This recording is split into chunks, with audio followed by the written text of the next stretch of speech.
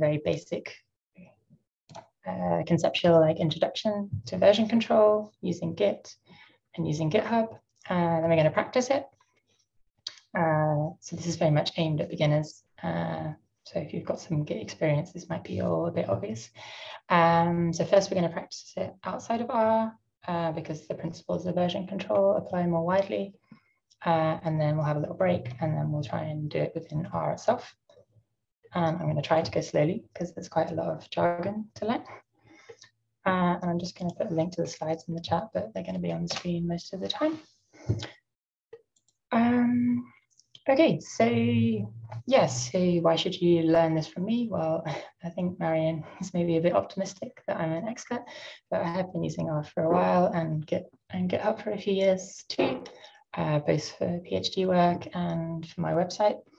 Uh, so I'm definitely not an expert, but um, I'm also not like too far from being a beginner, uh, which means that I haven't really forgotten what it was like getting started with Git and uh, version control. So if I can do it, then you probably can as well.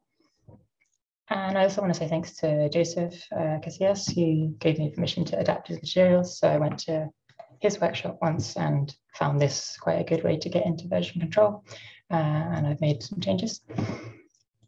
Okay, so there are three goals today. So firstly, uh, convince you that you should care about version control. Uh, secondly, to give you a basic introduction to Git and GitHub. And then finally, how to integrate them into your RStudio workflow. But hopefully you'll also want to use version control beyond when you're working in R. Uh, and I think it's important to understand kind of conceptually what's going on before we leap straight into R. So there might not be some R for some time. I'm sorry, I know it's an R ladies meeting, but don't worry, there will be some at the end. Uh, and in the event description, I talked about doing a bit of preparation. So hopefully you, read that and saw that, which is to make sure that you have Git, uh, GitHub desktop and RStudio ready to go, as well as making a GitHub account online. Uh, and I said I'd be happy to help if anyone was stuck getting set up, uh, but nobody got in touch with me, so I'm going to assume everyone is ready.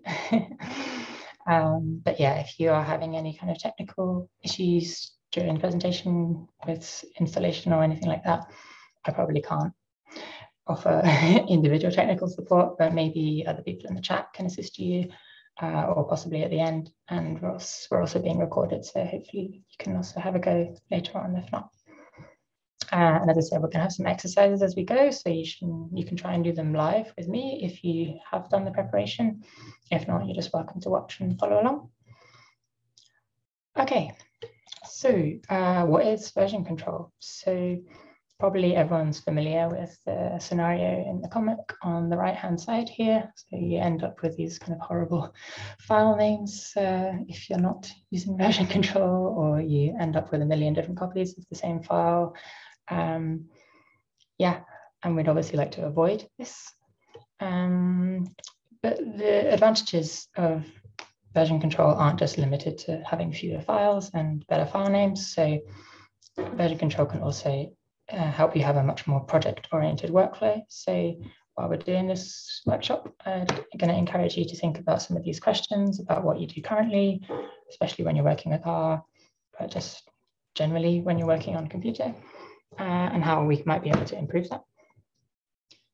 Um, okay, so this flowchart might be familiar to some R users. It's from R for Data Science book.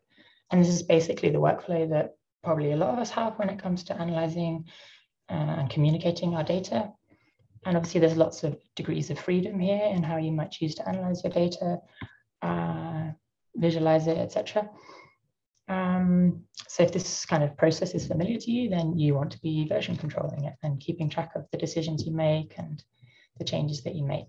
So this is good for open science. It's good for when we are working in a team and we want to review our colleagues' code, or if we just want to go back to an earlier version of our work and understand what we did in the past. Okay. Uh, so to do this kind of version control, to do this kind of workflow process that's now highlighted in blue in the bottom left, you might end up with something on your computer that looks like this. So you have various folders and subfolders with things like data and scripts and so on. Um, And again, if this looks familiar to you, then ideally you should be version controlling this kind of project setup as well. Okay, so uh, what is version control? To give a definition, uh, it's basically a system that records changes to a file or a set of files over time so that you can recall those specific versions later on. And it's a really good way to manage your content, so manage your files and folders. Okay, so um, yeah, I assume people are fairly familiar with these kind of cloud services, like syncing services like Dropbox and so on, uh, where you might have a laptop and uh, or any computer uh, synced with something in the cloud. Uh, if you're not backing anything up at all, then yeah, maybe you're living on the edge a little bit there. Um, but yeah, so GitHub is kind of a bit like this, uh, but it's a cloud-based repository for version control. Um, so yeah, you kind of have this upload and download process uh, and syncing. But how do we do this um, version control? Well, um, there's lots of different tools out there, but the most kind of common combination is using Git together with GitHub. Um, GitLab is another alternative to GitHub. Um, lots of universities have GitLab servers and so on. Um, Bitbucket is another one. And just by the way, this is the uh, the uh, mascot of GitHub, the octopus cat. So don't ask me uh, why, but um, you'll see a few more uh, of them as we go along. Okay, um, so hopefully everybody followed the instructions beforehand and installed things. Uh, like I said, I'm assuming yes. um, okay, so what you're going to need, first of all, Git. So you can, uh, a lot of computers, well, yeah, you might already have this on your computer. Most likely you do. Lots of new computers do come with Git these days. Um, if not, you can install it. There's a link here for some troubleshooting if you are struggling. GitHub account, this is very quick. So if you've not done this yet, you might manage to do it in a few minutes, uh, which we'll need for exercise one. Make sure when you do pay attention to your username. Um, and there's also some benefits to using an academic email address if you have one. I think you can have private repositories. Um, and yeah, make sure you try and keep a fairly short username, avoid spaces and special characters, etc. And it's usually related to your real name. And hopefully you've done this too already. And the last thing is GitHub Desktop. So this is like a local interface for Git. It's a bit like having stabilizers on your uh, stabilizer wheels on your bike when you're learning to ride. It can make things a lot simpler for beginners. Um, you don't technically need it. And some people would say, oh, I don't want to use that. I'd rather stick to the shell or the terminal or whatever you call it. Um, but yeah, to start with, I think it's a, it's a good way to introduce people. And then maybe later we can do most of our stuff within RStudio if you're working with R mostly. Okay, so what are these things? Um, so Git is an open source version control system. Um, but yeah, basically it's a way of managing content. And here by content, we mean your files and folders. Um, yeah, so it keeps tracks keeps track of the changes that you make to your files. Um, oops, and that's kind of how it works. And like I said, it's similar to these kind of syncing services, but tends to be used more for code. Um, okay, and how does it work? Well, you can access it. Um, oh yeah, what did I want to say before that? Um, yeah, so as you um, make a change to a file, you can kind of take a snapshot of it, which is called committing. Uh, and then you basically take a picture of your repository, which is another word for your project folder. Uh, and generally in the past, most people have been using it uh, via the command line or the um, terminal or shell. It's called different things on different uh, computers. And this normally kind of scares people, right? Because the uh, shell terminal code looks a little bit like the Matrix. Um, and this can kind of be a bit scary, even for people who are happy to code in R, right? Um, but yeah, like I said, we don't actually have to use it. We can start off with a friendlier tool like GitHub Desktop or use Git inside RStudio later on. So what's GitHub? Uh, it's the online cloud interface to Git. Um, so it's a place where we then store these repositories that we make, so our projects, and then we can share them with other people and collaborate. Um, might not be the most ethical tech company out there, which might be a consideration. So just so you're aware, it's not the only way to do this, but um, I think it's probably the most commonly used in a lot of areas. So that's what we're going to talk about today. Okay, so it's nearly time for our first exercise. But just to make sure we're 100% clear before we start, because it can be confusing. So Git is the version control content management system local, right? So it's on your own computer. It lets you manage and keep track of your files um, and the, the history of the changes to those files. And you do that within repositories. So these are kind of your project folders. GitHub, on the other hand, is a cloud-based hosting service. So it's online, and then it lets you manage those repositories once you've put them online. Uh, and then you can share them and, and collaborate with other people. Uh, oops, just to be extra sure, here's like a graphical representation of the same thing, but the bottom line is Git version control system, GitHub is cloud-based hosting service. Okay, I hope that's clear because uh, it can be very confusing at the start. Okay, so it's time for our first exercise. So what we're going to do is we're going to try and create our own repository. So remember, a repository is like an online project folder. Uh, well, it doesn't have to be online, but it's going to be online on GitHub initially. Uh, and that's a folder that we'd like to track, track and do version control with. So we're going to uh, make a change to a file in this repository, uh, take a snapshot of that change that we made, which is called commit. Um, yeah, and that's pretty much it. Okay, so even if you didn't install Git or GitHub Desktop, you should still be able to follow this if you made a GitHub Online account. Okay, so now I'm going to make my GitHub a little bit bigger. Um, so I'm going to log in. And when you log in, it looks a little bit like almost like a social media website with a kind of newsfeed. Um, but what we're looking for is this green new button. So you should be able to see that on most pages. Uh, I think you can also click here and find your repositories and then click the new icon, but I can see it here already. So I'm going to click on it and, and you're welcome to follow along, right, um, at this point, or uh, there'll be a chance to catch up in a second. So I'm going to give my repository a name. I'm just going to call it my repo. Um, I'm going to give it a little description. So this is just going to be a test repository. It's going to be public, and it's very important to click here, um, add a README file. So README files have a kind of special status. Um, and yeah, it's where you can describe what is in the repository, what are the contents of it, um, how to work with it, etc. And then I click the green create repository button. So just to catch up on my slides here. So we create a new repository, give it a name, my repo, add a README file, and then click create repository. And then that's kind of it already for the first exercise almost. Uh, well done, that's great. Um, okay, we're gonna do a little bit more. So we're gonna click on this pencil icon uh, to edit it. I'm just gonna add some text to the file. Um, I'm just gonna say, uh, oh, and then I scroll down here to the bottom.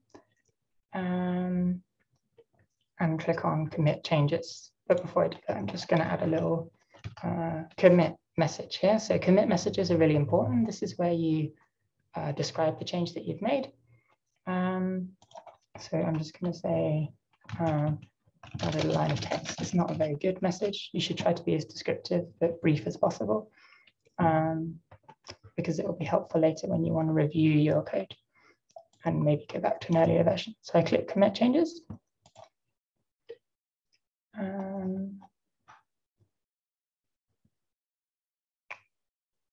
and why didn't that work? Maybe I need to refresh it again. There we go. Okay, so refresh it page. Uh, and then we can see that my text has now appeared here. If I click on this history in the top right, I can see that this change is made. So I added a line of text 23 seconds ago. Um, yeah, simple as that. So we already got our repository uh, going. We've edited our README file. Uh, I'm just going to show you all the steps again. So if people want to catch up, um, you can do that. I'll give you a minute or two. And if anyone has any questions for the chat, maybe feel free to ask in the chat.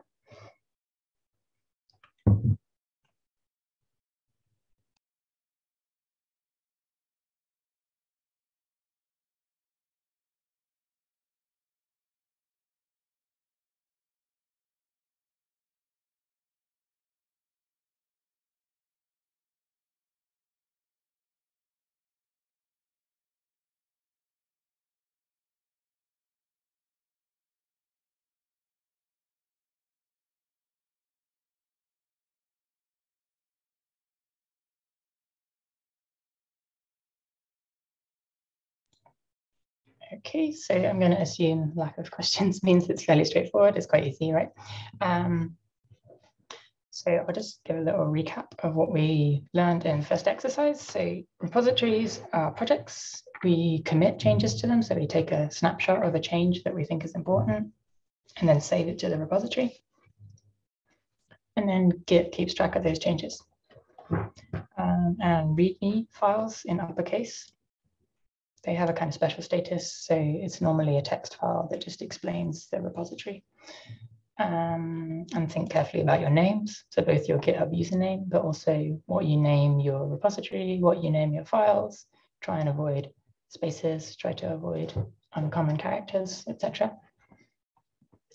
Okay, so that first exercise was quite easy, lots of hand holding. Uh, and the second exercise, we are going to clone a repository.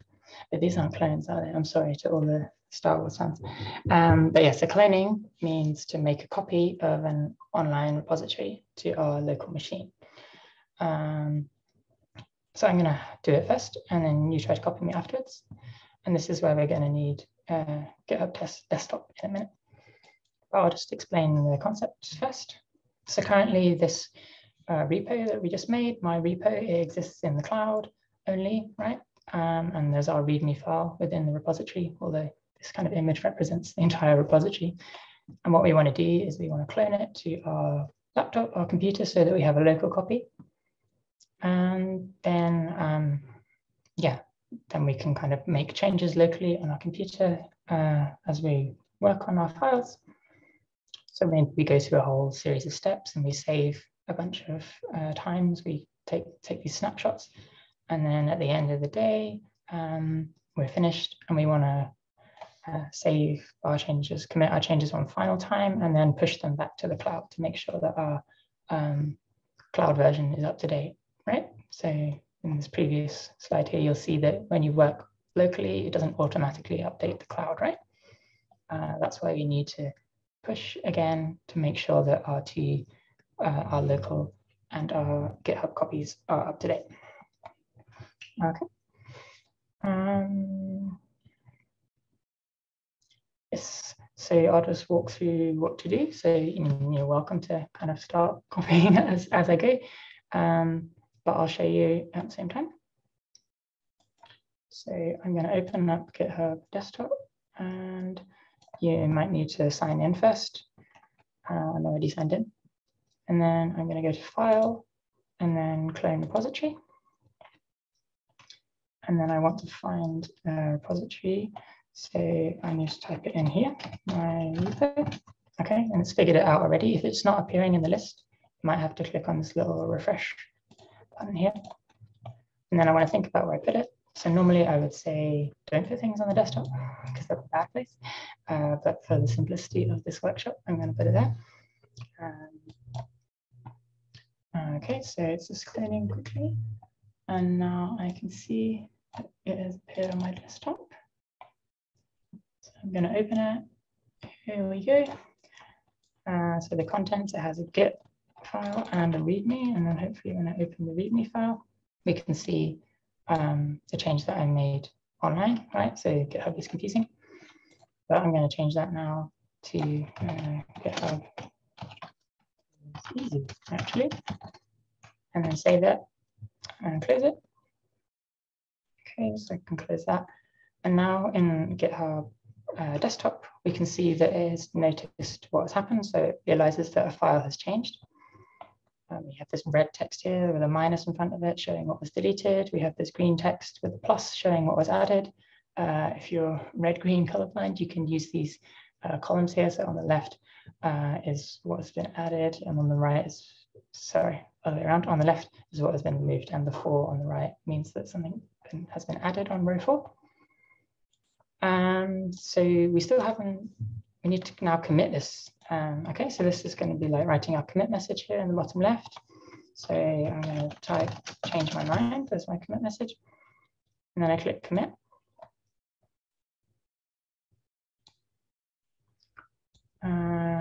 Okay.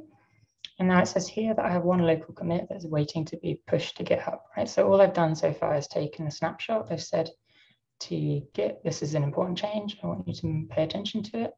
But if I were to refresh my GitHub repository here, uh, we don't see the change yet because I haven't pushed it, right? I haven't pushed it up to the cloud. So there's some nice spatial metaphors going on here.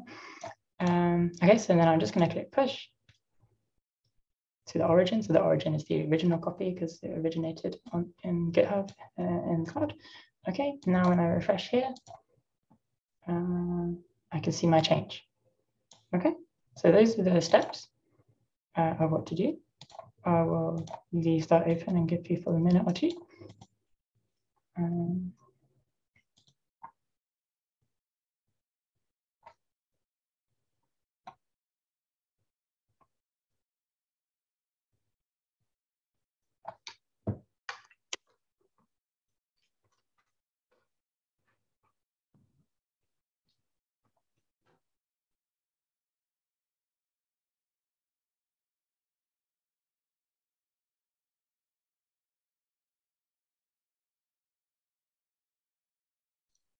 And again, feel free to ask anything in the chat if you're stuck. But...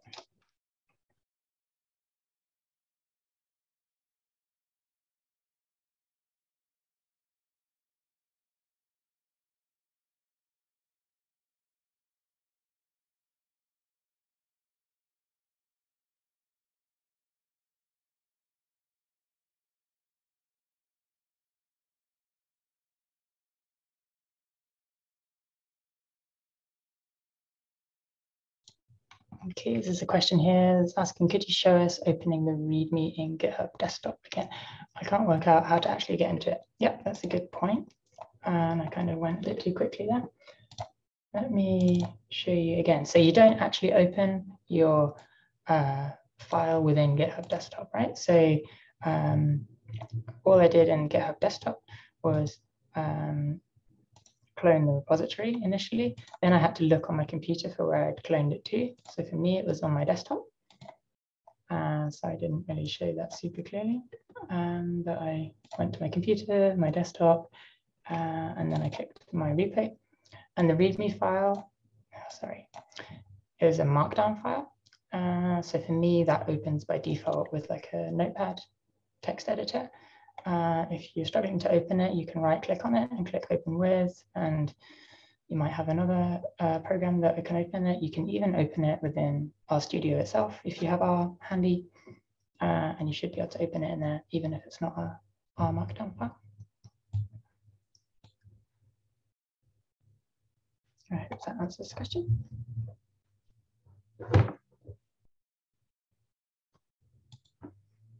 Yeah, all good. I have too many monitors and I'm trying not to. yeah. okay,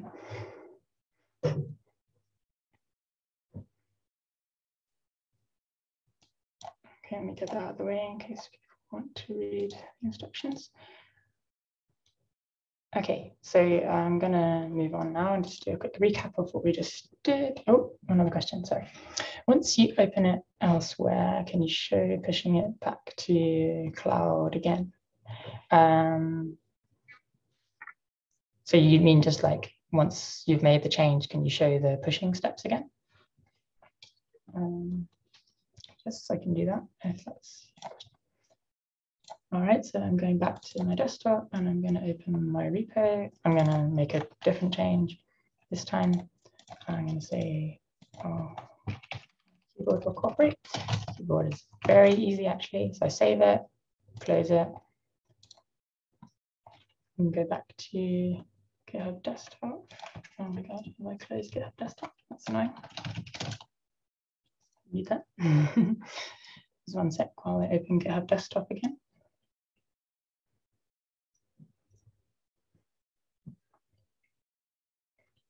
Uh, yep, so here it's picked up on the change automatically, right? So my current repository, it's my repo, that's where you should be. And then the, the, steps here to do are to first commit and then push. So we write a commit message. Uh, I'm gonna say I even more sure. That's my commit message. This is a terrible message, to be honest. Uh, and then I click commit. And then I click push, right? So I kind of showed you on GitHub in between those two steps earlier, just to show that it hadn't made the change just yet, but now I should have done. Okay, now we see there's no local changes. And if I refresh here, um, my very is also there. Okay. And yeah, there's a comment here just explaining that, yeah, that's how you could also find your file to work on it. Okay, so let's just do the recap. So um, we can also clone repositories um, to our computers. So cloning means to copy them from the cloud to our local uh, laptop, desktop, whatever. And then we carry on working as normal uh, and we commit changes. So we take snapshots when we've made an important change uh, and when we are ready for the day or done, or, you know, it depends how often you want to push, right? Uh, if you want to be careful, you can push after every commit you make, or you maybe could just do it at the end of the day. Uh, but pushing just means to send your changes up to the cloud uh, copy, which is the original one. Then those changes should be visible on GitHub. Uh, and again, always make sure to think carefully about where you save things, where your repositories are saved locally so that you can find them. Uh, you can keep practicing this procedure. You can clone things on GitHub and edit them, commit, uh, and push. So you can do this with practice repositories just to get the hang of it. Um, and yeah, don't be afraid to like start all over again. You can delete your repository, create a new one, um, play around until you get the basics. Okay, um, so let's review what this kind of means for our workflow. So we've got this workflow of like cloning and then editing. And we commit these changes to the cloud, or we push them to the cloud, sorry, we commit the changes, then we push them to the cloud. Uh, so now here's our file in the cloud, for example. Um, and maybe like as the week goes on, you um, get some, you fix some typos, you get some comments from your supervisor, etc., or your colleague. Um, and then you build up this really nice like version history, commit history of all of our previous changes. And then it means that if we need to go back to a previous version, turns out that, oh, our supervisor was right with all their comments. I want to go back to their version. We can do that. I'm not going to explain how to do reverting today, going back, but it's possible. And it's not super complicated. Um, what this also means is that we can work from different computers. So we can uh, fetch and pull the changes. So just like you can push to the cloud, you can also pull from the cloud. Uh, this is kind of useful in these hybrid times. People are starting to go back to the office, maybe work uh, on an office computer some of the time, sometimes work on a laptop. And it means you shouldn't need to worry about USB devices, etc. Um, okay, so this leads us, and you, will see that this kind of also uh, maybe facilitates collaboration once you can understand how different people uh, can pull uh, from the cloud and then work in a different place. So exercise three, uh, this is where I might lose you. So that's why there's a Grim Reaper mascot. Um, and I'll just show you what we're going to do here. So here we're going to collaborate. We're going to use forks to collaborate. Uh, and these are the steps. Uh, maybe don't start just yet. In fact, you can't start just yet because I haven't given you the link. but um, what we're going to do here uh, is basically very similar to exercise two. In fact, steps two to six are what we just did. There's just something new at the start and at the end. So we're going to fork uh, a repository for some from somebody else. Um, so I'm just going to put a link in the chat to uh, the repository that you're going to fork. And forking just means making a copy of it on GitHub, right? So you are copying it to your GitHub account, and then it's your own copy that you can do what you like with, and you can then uh, clone it to your computer and carry on working on it locally. Um, and then at the end, so I'm going to ask you to do the same thing where you make a change uh, locally and push that back to your copy. And then at the end, I'm going to ask you to do something called submitting a pull request, which means um, that you are suggesting your change to the original version of the repository or the file. Uh, so that, and then it's up to the uh, owner of the original repository to decide whether they want to integrate your changes or not. So you can see how this is useful if you're working on code together. Um, okay, and I'll just explain a little bit more about what this means conceptually. So, um, so we've got this GitHub practice repository. Let me, in fact, just show you that it does exist on GitHub. Um, here it is.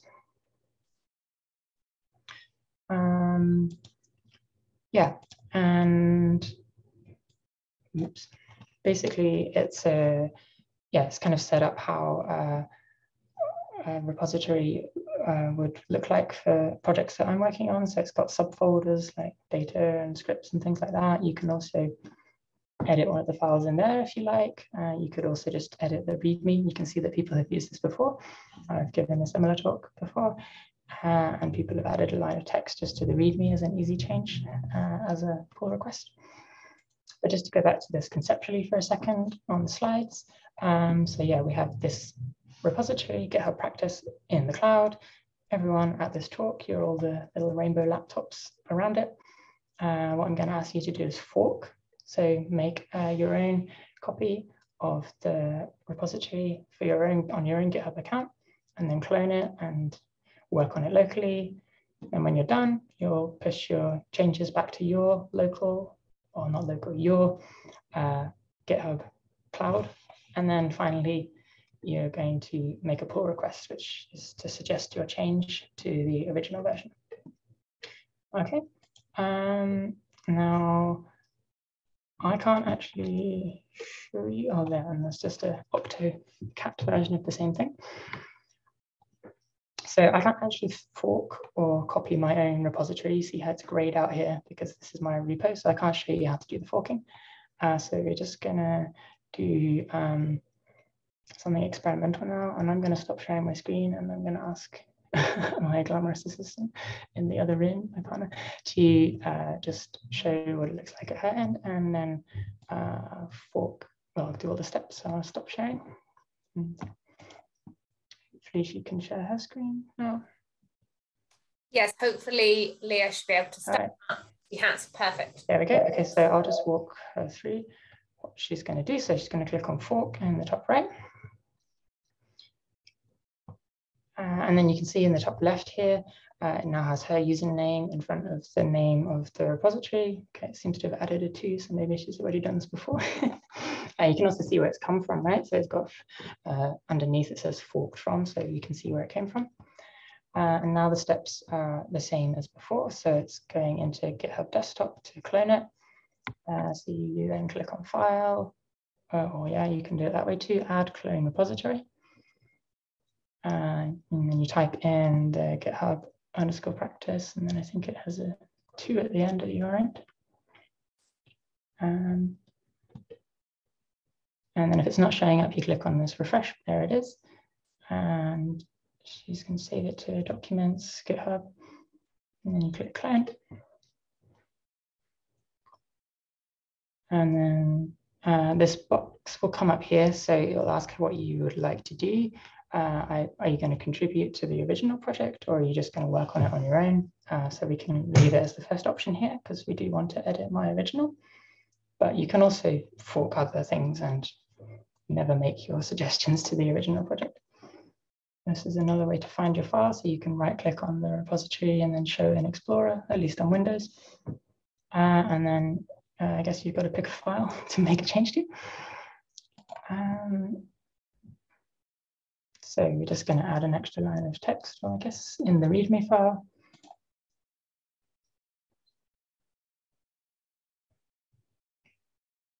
Okay, and then save it and close. And then you can see in GitHub Desktop, the um, changes appeared in green and red. Uh, add a commit message. Um, or whatever, it doesn't even matter. Opinion. and then click commit. Okay, and now I need to push this commit. Great, so now if we go back to GitHub, we can see if you refresh that page,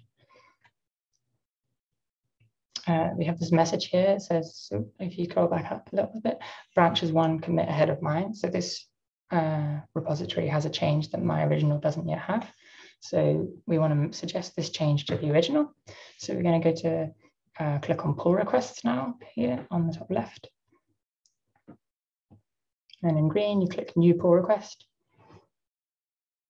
Uh, and this is just uh, showing you the change again. So if you scroll down a little bit, you can see the change in green and red when you compare it with uh, the version in my repository. And then if you click the green create pull request, uh, that sends that change to me. Okay, well, and you have to click it once more. It's a lot of green buttons to click. uh, and then that says there's no conflicts. So hopefully it will be fine when it gets to mine. So thank you very much. Uh, I think you can stop sharing your screen now and we'll go back to sharing mine. Okay, um, so those are all the steps that you need to do. Uh, I can now refresh this. Oops. And I can see that I've got four pull requests already. So some people are already quick. Um, so that's great. So I can see that they're coming in already, but I'll give everyone a couple more minutes uh, with the instructions here on what to do. Um, I'm not going to try and merge them all right now because that could be a bit of a mess, but I will, I promise that I'll integrate all of your changes at the end of the workshop. Uh, and when you do, you should get a little email. Uh, and I think you even get a badge on GitHub saying, well done, you did your first pull request, if it's your first time. uh, so yeah, I'll give you a few minutes to have a go at that.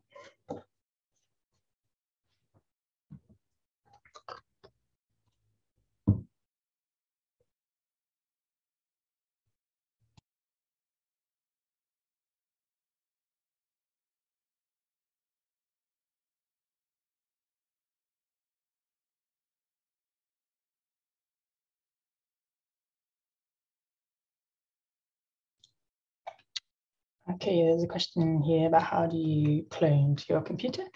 Um, so I'll just go back to that step again. Uh, so the cloning is done in GitHub Desktop.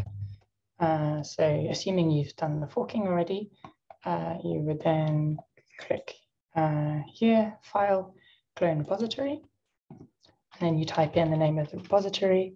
And like I said, it might not show up initially.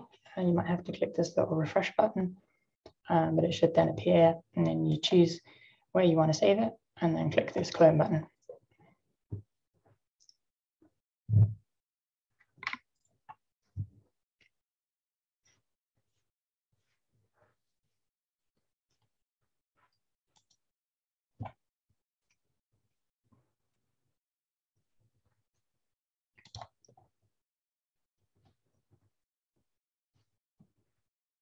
Okay, there's one more.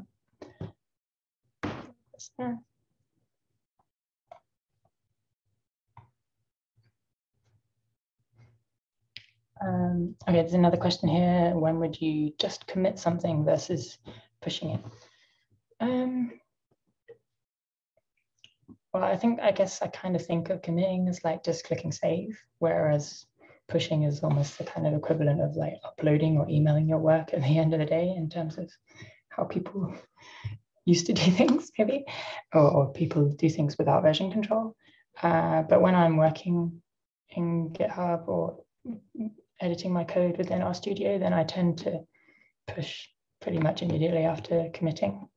So i think it's a personal preference basically uh, I'm sorry to hear you're not finding the repo, Heidi. So, um, yeah, hopefully you saw the link that's in the chat and the forking worked, but oh, you got it. Okay, that's great. Okay, got six pull requests now, which is great. Um, okay, so I'm just going to do a recap of that exercise, and then maybe we'll have like another five minute break just for everybody to have a break and people can finish working on their pull requests if they want to, or you can just go to the loop or something. And then when we come back, we'll do this kind of stuff directly in RStudio.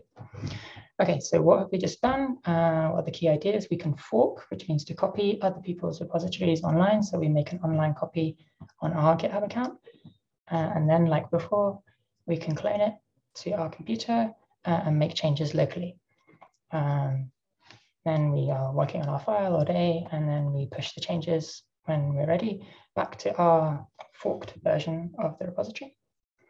Uh, and if we have a great idea or something we want to integrate in the original repository that we forked, we can make this kind of suggestion using a pull request. Um, yeah, and it's a good thing to do to learn how to well, learn how other people code, right? So you can, there's loads of code that's freely available on GitHub that you can just fork if you want to see how people use R, people use whatever you're interested in learning how to do. There will be some code that's freely available. You can fork it and then you can clone it to your computer and play around with it. Likewise, you can make pull requests and contribute to people's projects. It's really fulfilling. If you've helped a little bit with sometimes massive projects. It could just be fixing a typo. People will still be grateful. Um, and yeah, again, don't worry too much. You're probably not going to accidentally like ruin somebody's work because you're generally making the change within your copy of the repository. And then uh, it's up to the creator or the, the owners of the original repository whether they accept your change, right? So um, it's their responsibility if you do something and they accept it as a pull request. Um, okay, so um, yeah, I'm going to suggest we have like a couple minute break just to everybody. Some people are still working on that, free to put questions in the chat. I'm just going to have another drink.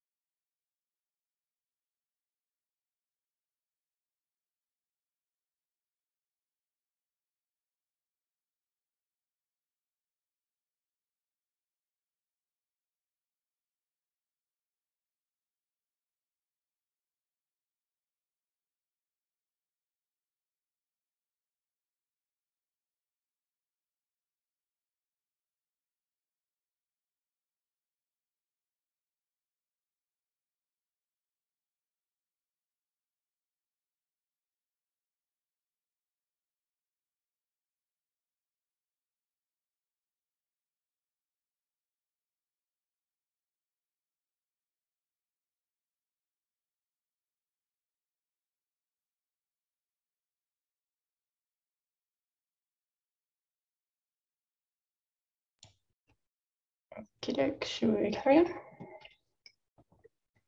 See, there's been some questions, so I'll try and go through those. Um, so first one is I'm getting stuck at create pull request. The button is grayed out. And when I go to Freya's repo, pull request, new pull request, then I'm not sure what's next.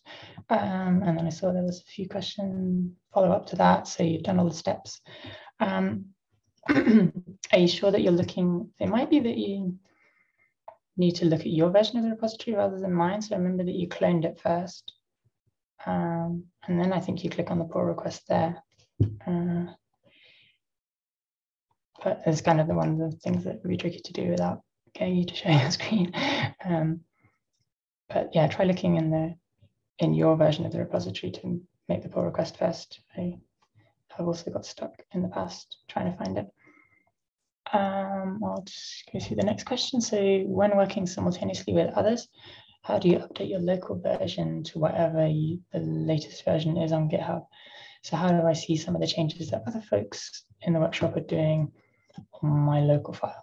Do I need to reclone or just update the file somehow? Um, okay, so in terms of like the current workshop, um, I haven't made any of these changes yet to the original file, right? I, I can see that there's a bunch of these requests and I have to go through them kind of one by one, basically, and uh, accept them or reject them, merge them uh, if I want to. And then if I make all those changes, then yes, my online version will be more up to date than yours, uh, your local one, and also my local one as well, right? Uh, and at that point, you would need to click on here, so fetch origin, which is like pulling the changes. So you push, now we need to pull, pull the changes down. Um, and that's really important to do. So when you are working with other people, as you say, um, before you start doing anything, right, you should pull before you start working because somebody might have been working on a file while you were not working. Um, and you need to make sure that you're working on the most updated version, uh, which is probably on GitHub uh, before you start carrying on working locally. I hope that helps a bit. Uh, and this next question, just to get an idea of your daily workflow, do you clone a repository more often or just once? and then save the files and push at whichever interval. Because if you're working on the same computer, the local file is the same as the pushed one, right? Um, so I don't need to clone it anymore. Cloning is just the kind of initial, making the initial copy to my computer, and then I have a copy. Uh, and then, like I said, you need to click on this fetch origin thing, which is uh, like pulling your changes down from the cloud. Um, so yeah, you just clone it once and then you have one local copy. Uh, but and then you say, if you're working on the same computer, the local file is the same as the pushed one. Um, yes, if you're working alone, right? For example, if I accept all of these changes, uh, all of these pull requests that people have made, then the online version is ahead, right? So then there's the difference. And then, uh, so obviously when you're working with other people, you have to be careful. Um, wow, three thank yous when I scroll down. So I'm glad I've answered everybody's questions. Um, okay, so yeah, welcome back everybody. And let's refresh this. So I've had quite a few pull requests come in, 10 or 11 of them. That's really great. So I'll try, as I said, I'll do that after the workshop. I'll merge them. And right, so you're probably wondering, uh, how can we do all this within R? This is an R-Ladies talk. You haven't even opened R yet. Um, so yeah, we probably don't want to be switching between GitHub Desktop and RStudio all day, right? Especially, um, well, yeah, it would just be a pain uh, if you can do it within RStudio, which fortunately you can. Uh, and the way to do this is using R project files. So if we think about what I asked you at the start, about your workflow, how you organize your files, if we think about that, we combine that with an R project file, uh, then we can kind of have a good workflow with version control and Git as well. Uh, so yeah, so if your project, if what you're working on in R involves kind of R scripts, R Markdown, etc., you should be using RStudio projects. Uh, if you've not heard of them before, you might be wondering what they are. So these R proj files, what they do is they create an environment that is just uh, yeah, limited to the current thing that you're working on, the current folder, um, which can also help focus your attention, right? So in the past, I've been very guilty of having like 10 completely unrelated R scripts left open within RStudio, which is bad. Um, and they also integrate well with GitHub. Uh, so yeah, they help you kind of have this project-oriented workflow from the start. Okay, so now I'm going to move to RStudio. Uh, and we can try and link everything together with Git so that we can work there. Okay, so I'm going to show you three different ways to get set up here. Um, so mm, when you want to make a new RStudio project, you go to File, New Project, and then we have these three options that come up and I'll decide to cooperate. So depending on your circumstances, what you already have, uh, you might want to click. We'll go through all three of these. So the first one is when you want to make a completely new project that, uh, that doesn't have anything yet, and you would like it to be version controlled as well, you can click here. Um, the second one is when you might already have a folder or a project where that's related to R and you would now like to add version control to it. And the third option is when you already have an existing GitHub repository online, but it's not linked to RStudio in any way yet, and you haven't got it locally. So we can link those. But before we click on any of those possibilities, first we need to enable version control in R. So we're going to click on Tools and then Global Options. And then we go down here to where it says Git SVN. And then we make sure that this box at the top is ticked saying enable, enable version control. Uh, for me, it already is, but I guess a lot of you probably won't be. And you might have to restart RStudio after ticking this, I'm not 100% sure.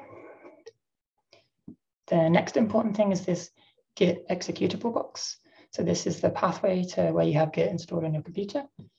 And if your computer already had Git or you've installed it successfully, RStudio is fairly clever and it might have already worked it out.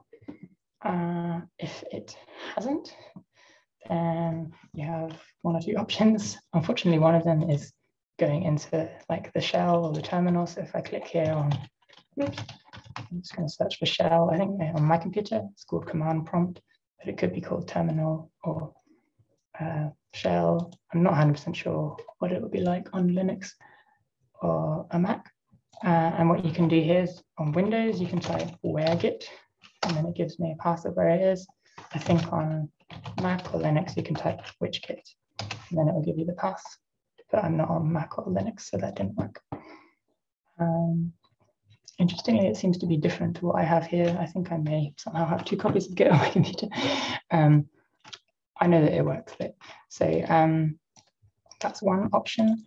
If you are sure that you've installed Git and you still can't find it, then there is some more troubleshooting help uh, here at this link, uh, which I put in the chat. But hopefully people have something here already. Um, the next thing we need to do is create this RSA key. Uh, so what this means is it's kind of like a secure link between RStudio and your GitHub account. I already have one, but I'm going to overwrite it to show you. So I click create RSA key. Um, and think this should be filled in already with where it's going to be created. Uh, you don't need to put a password. You can just click create. I'm going to overwrite mine. This might take a second or two. And then you get this really interesting looking random art, I think it's called, uh, which is kind of like your complicated key. Um, and close that. And then I think, yeah, I closed it, but click view public key again here. And then this is the thing that you need to copy. Okay, so I hope people are still with me. um, but I'm going to copy this now. Uh, close it, apply, and OK, close that. Now when I go back to my GitHub account, I'm going to go to my profile and click on settings. So on the menu here, then I go to SSH and GPG keys on the left here. Uh, and then you probably don't have one here already, right? So I had one, I'm gonna delete my old one. Uh, just to show you how to set it up. Then I click new SSH key in green. And I'm going to give it the title RStudio so that I know what is being linked here. So I'm linking R to GitHub. And I paste what I had on the clipboard, this thing that starts SSH-RSA. And then click the green add SSH key button. Okay, so now I have a key here called RStudio.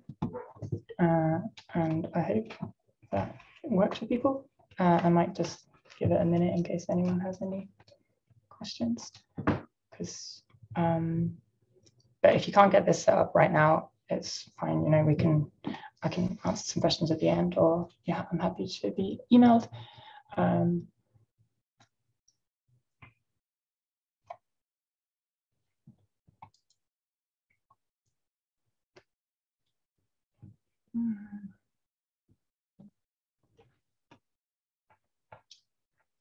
Okay, nothing has come in so far. So I'm hoping that people are still with me. Um, but if not, don't worry and just try to follow what I'm doing here at least. Uh, so now we should be ready to try linking uh, our, our projects to version control. So we go back to what I showed you before, file, new project. Uh, and I'm going to start with the one at the bottom here because I think this is the easiest one. So this is where you um, already have a repository on GitHub or uh, it's not connected to your local computer and you want to start doing version control and link it to RStudio. So we click on that version control, then we click Git. Uh, and now you'll see that it wants us to put in a repository URL. So we're going to go back to GitHub. Um, and yeah, we can't use one that we've already like cloned to our computer. So we can't use my repo. So let's just create a new repository quickly. I clicked on this plus icon here to do it, plus new repository. Um, what do I want to call it? Um, online repo. And then I'm going to say I want to carry on working in RStudio. Um, I'm also going to click add a README. It's good to get into the habit of doing that. And then I click create repository. And then what I need to do is click on this little arrow next to the code in green and copy the link. So I can click on this button here with two squares to copy it. And then I can paste it in here. I'm just going to put it on my desktop. And then I click create project.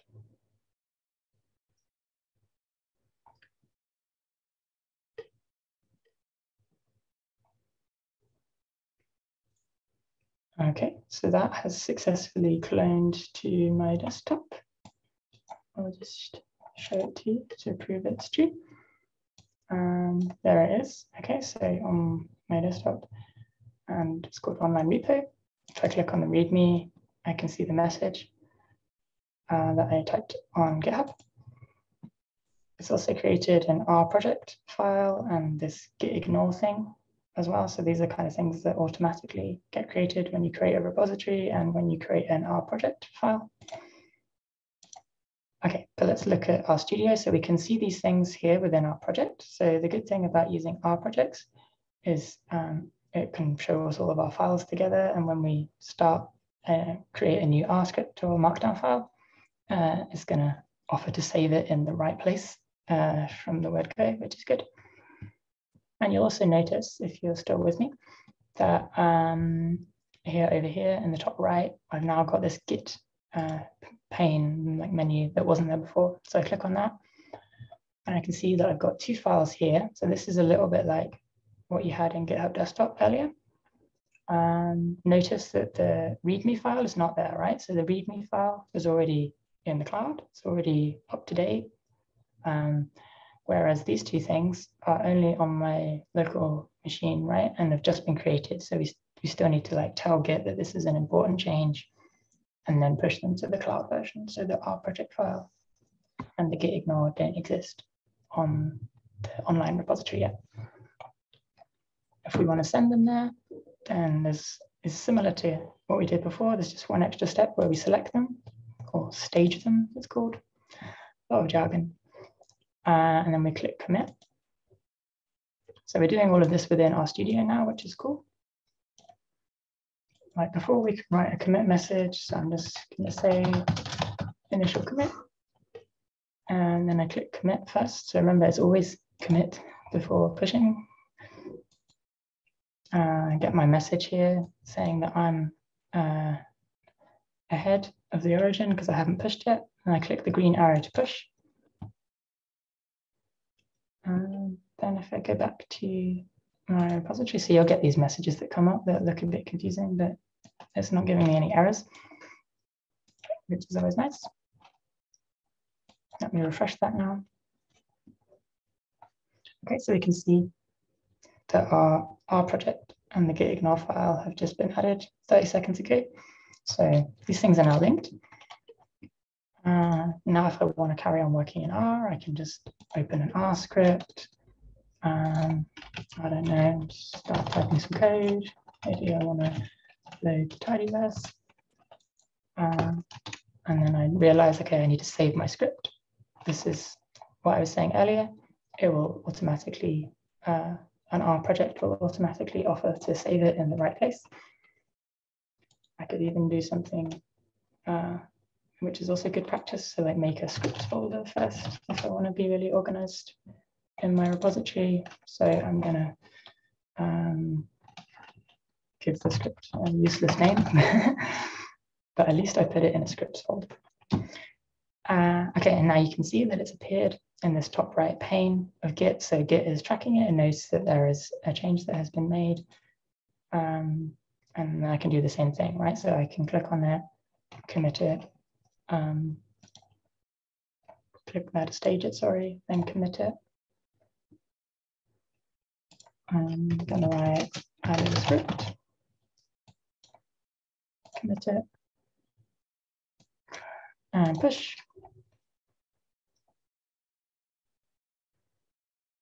Okay, that all seems to have worked. And if I go back to my repository now, I've got a scripts folder, and I've also got my R script inside it and I can click on it and you can see my line of code. So you can see how this is practical, like useful for uh, keeping track of your R code. okay, but that was just one way of how to do this, right? So that was the easiest way, I said, unfortunately, um, where you create a repository online first. So I think that's what I would recommend always uh, in terms of workflow is just to create the repository on GitHub, then uh, yeah, create the project within R and enter the link to it. That's the easiest way to get set up. But I'm going to show you the other two options here. So let's close this project called online repo.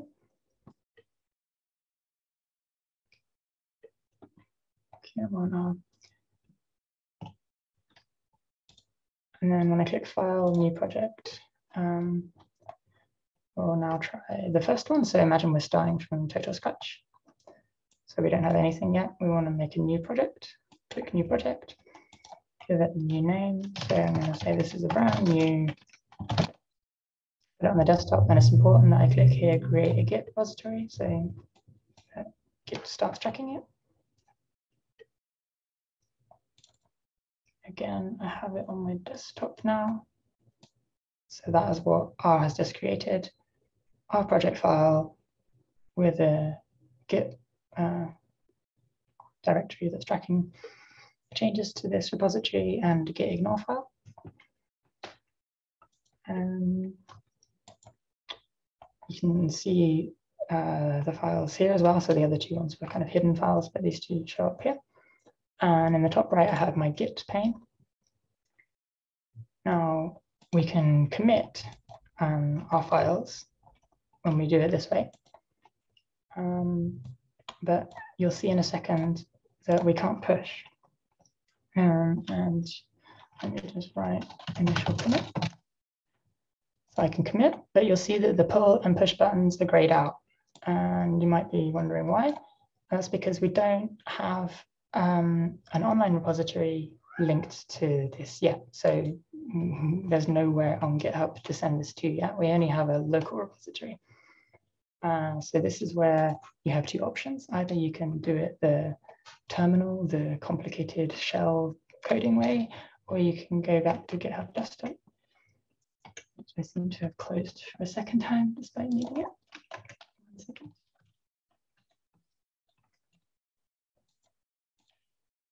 Um, the good thing about this is we're not going to have to keep switching to GitHub Desktop and RStudio. This is just to get the repository online, and then afterwards, these buttons will reappear and we can carry on working. Okay, so in GitHub Desktop, I'm going to click Add here. I think you can do it this way too. So File, Add Local Repository. And I have to find where I put it. So I look on my computer, I put it on my desktop, and it's called brand new project. Then when I click add repository, um, you can see that this button appears here, which is publish the repository. Okay, so I've already made a commit. Uh, I just need to push it, publish it in this case. Um, I can decide whether I want the online repository to be private or public. I can write a description saying, but I'm not going to. I click publish. And that is now been pushed. Let's go back to GitHub and check. So I click on my uh, profile icon and I click my repositories. So I can see that brand new project has appeared. So that has worked. And one naughty thing is that I haven't got a README yet, so I should add a README to describe what this repository is, uh, so that other people who might look at it on GitHub uh, can, yeah, understand what's going on here. But I made it private, so but still, it's good to add a README as well for your own knowledge, right? So you might forget how everything is organized here. Um, and like I said, now these buttons uh, the blue and green, the pull and push buttons have reappeared. So we could do the same things we did before. We could, I don't know, let's make it R Markdown this time. I'm not going to give it good titles. Um, just going to leave all of that. But when I save it, it automatically saves um, the file name. It automatically saves it in the R project, which is great. And so it appears in our list uh, in the bottom here of our files, and it also appears in the top right because this is something that doesn't exist online yet. So from now on, we can start edit our code and then uh, commit and push and pull within R. So I'll just do that quickly, just for completeness sake. So added uh, R Markdown and commit, and then push.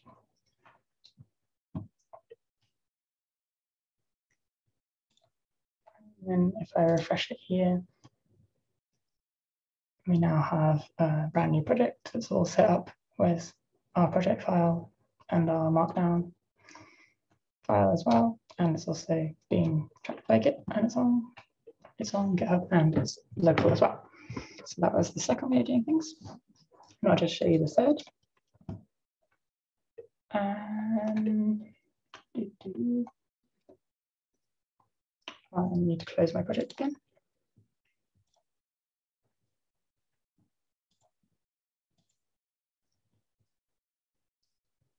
Okay, so the final thing, this might apply to quite a lot of people here, is you have some work that you've already done in R uh, you maybe have even an R project file already. It doesn't have to be an R project file.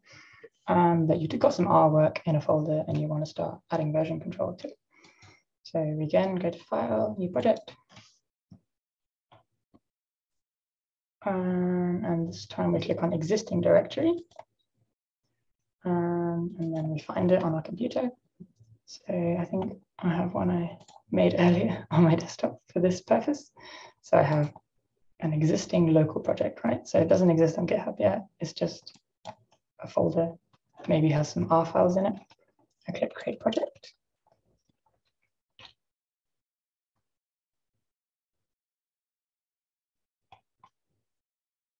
Uh, Uh, and what's different this time is we don't have a Git uh, panel in the top right. Uh, so what we need to do is set this up manually. So it's a bit of an extra step. We click tools, project options this time, not global options. Um, go to Git, and then here we need to click uh, Git as our version control system. And then when this message comes up, do you want a new Git repository for this project? You click yes. Uh, and we might need to restart R, which we'll just do quickly.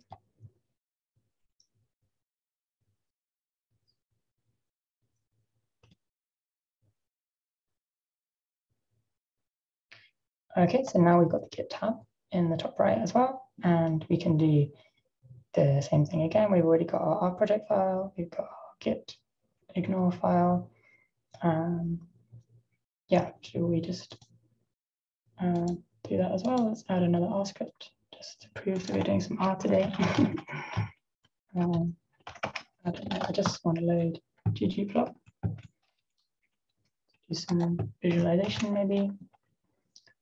So again, I'm in my project file already. I'm gonna um, create a new subfolder because it's good practice, right? So maybe I've got my plots folder for because use ggplot to do some data viz. This is my data viz script.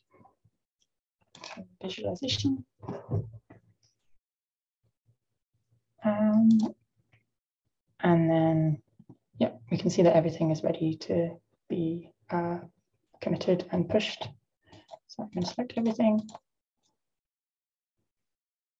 and then commit.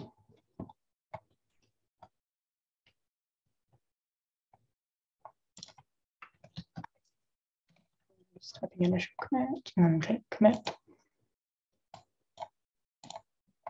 And oh yeah, uh, same thing again. I forgot. I was like, why are these grayed out? Uh, so this is similar to the second version where we need to go back to GitHub Desktop. Um, click on File, uh, add local repository, and find it again. So mine is called existing local project. Click add, and I've already done the commit within RStudio. Now I can publish this repository. Um, yep, so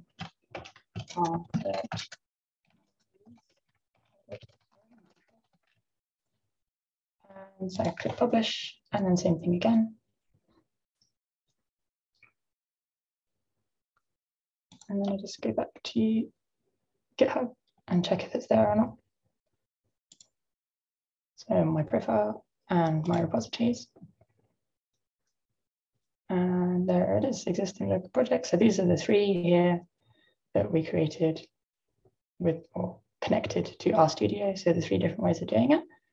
Um, like I say, I think the first one is the easiest and the quickest um, because you don't need to switch back into GitHub Desktop.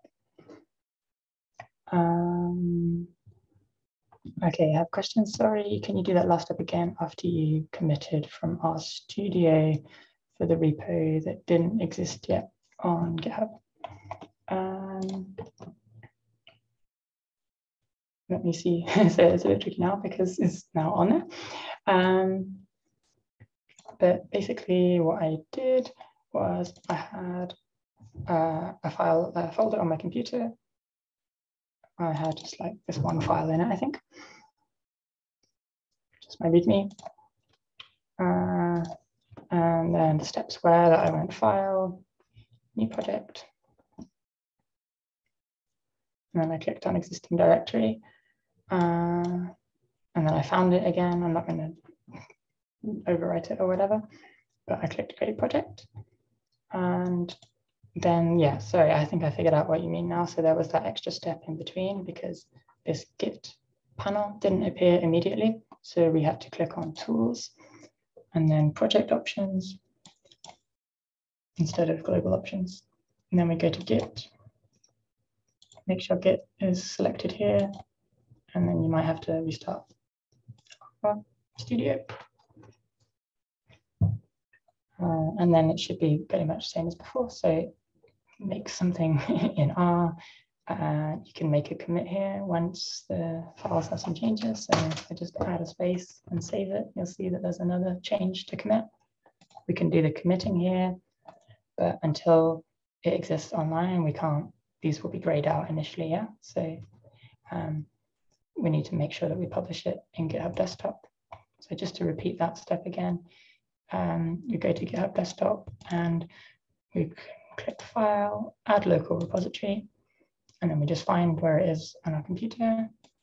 Um, I don't know if I can do this over and over again. It's kind of already there, right? Um, yeah, and, and then if it's a, a new repository that's not online yet, it'll have this publish button, right? If you've already done the commit. I hope that makes sense. I also had another question earlier. I'm sorry I missed this one. Direct question that was about RSA keys. So someone already has an RSA key and is pretty sure that they don't want to destroy or overwrite them. I think I need to add them to SSH key agent. Is that correct, please? I think this is where I'm not enough of an expert to say for sure. So yeah, uh, I hopefully nobody overwrote a key that they potentially thought they might need. Uh, yeah, I think that one is unfortunately beyond me unless anybody else here can add any input. I can't say I understand the full details of these keys. Um, I hope that was clear. I feel like I've talked for a very long time without uh, too many people saying stuff. So maybe if you if you're able to follow that, you can possibly send some sign of life in the chat or that that made sense to some people um, yeah, that's basically uh, most of what I wanted to talk about. I'm going to go back to my slides uh, just for a little conclusion. Okay, so I showed you three different ways to do the GitHub integration in RStudio. Um, oh, this is an interesting extra point. So you can have a RStudio project like nested inside a larger version control project. So you might be working on a much bigger project and you want to version control everything, but only a small part of it is related to R. So that's possible. I haven't done that yet. What you have to be very careful not to do is to put a GitHub repository inside a GitHub repository. That will that will not end well. Um, try and avoid that if you can. Um, okay, so let's just do a quick recap of the jargon that we learned today and it's nearly been an hour and a half, so we're nearly done. Um, so yeah, repo is a repository. Think of it as your project. It's generally equivalent to a folder. Uh, when you commit something, you are saying this is an important change. So we take a snapshot and we say that you need to pay attention to this. Um, when we clone something, we uh, make a local copy of something by uh, getting it down from GitHub in the cloud. Uh, when we push something to the cloud, uh, then we are basically sending our commits, sending our changes uh, to our online cloud repository. Uh, pulling is the reverse. Um, and it's remember, as I said earlier, it's good to pull at the start of a day's work, especially if you're collaborating with people, right? So to make sure that you haven't missed people's changes. I think generally Git also is kind of clever and notices that you're not working on the latest thing, but it's good practice to, uh, and it will warn you. But yes, it's good practice to try to pull first before you carry on working on a collaborative project. Forking is making a copy in the cloud. Um, so copying somebody else's repository to your online repositories. Uh, so that's all online. And a pull request is when you have a suggestion that you want to make to the original code, uh, and then you send it to the owner of the repository who can decide if they want to integrate it or not. Obviously, there's a lot more jargon. it's unfortunately one of those kind of fields, computer science. Uh, so some things you might want to do in future are branches. Uh, so you can I don't even know if I want to try to explain some of these things, but obviously it can get more complicated. Uh, branches is yeah, when um, you want you say, okay, this is a, a kind of certain point where we um, don't want to edit uh, any further, but we take it on a different route And this is a really bad explanation, which is why I'm going to stick to the basics. um, and merge conflicts can happen. So it, it, could happen when multiple people edit the same thing at the same time and they haven't got the latest version of the file. So it doesn't uh, fit together very well and you have to figure out how to resolve that. Uh, and obviously there's lots of things you can do in the command line. So not everyone is a fan of GitHub Desktop. In fact, some people I think uh, within the R community don't like it very much uh, and would prefer people to do things in the command line. I think it can maybe cause problems with where Git gets saved on your computer. So maybe that's why I have two copies of Git on my computer. It hasn't caused me any issues so far, but possibly for more advanced things that I'm not an expert enough for, maybe it causes problems. Um, yeah, so hopefully you weren't thrown in the deep end too much today. I hope that was all clear. And here's just a list of some other resources. So the first two uh, are particularly relevant to R. Um, Hadley Wickham and Jenny Bryan. Jenny Bryan, I know, does not like GitHub Desktop, but I found it useful to get started. Uh, the others uh, are less specific to R, but uh, related to Git and um, GitHub in general. And these links should all work if you have the slides. I can put the link to the slides again in the chat. And I think that's it. So thank you very much for the invitation. Um, and for everybody who attending, thank you to the interpreters. and thank you also to Joseph for the original workshop and the changes I've made to the materials. Um, yeah, thank you. Um, thank you, Greg, for that comment. I saw that there was another comment. Oh, is that an answer to somebody there? Okay, I'll, I'll stop reading the chat.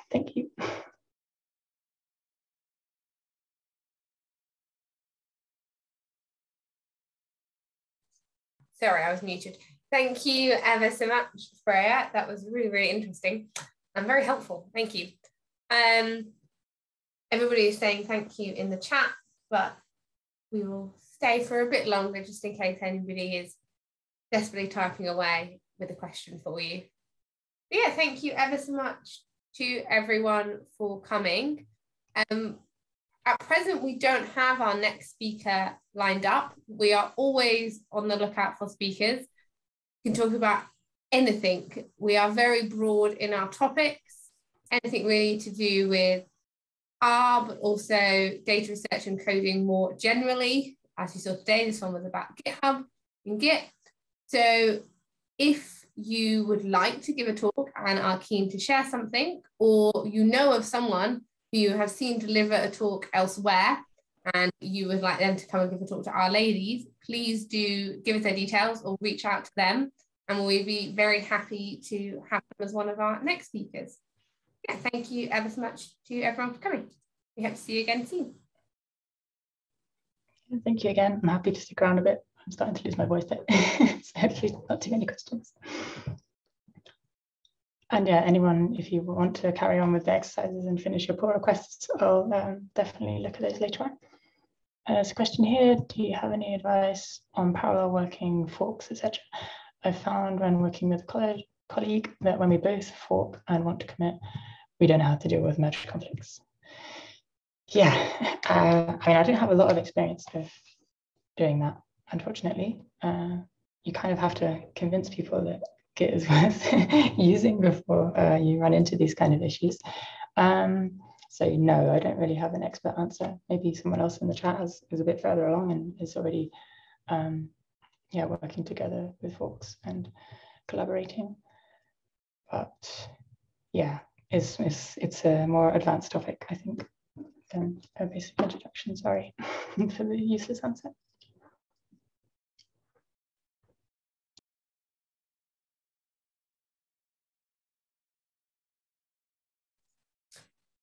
I will turn the recording off now, just so everyone's aware if anybody does wish to come on camera but didn't want to be recorded.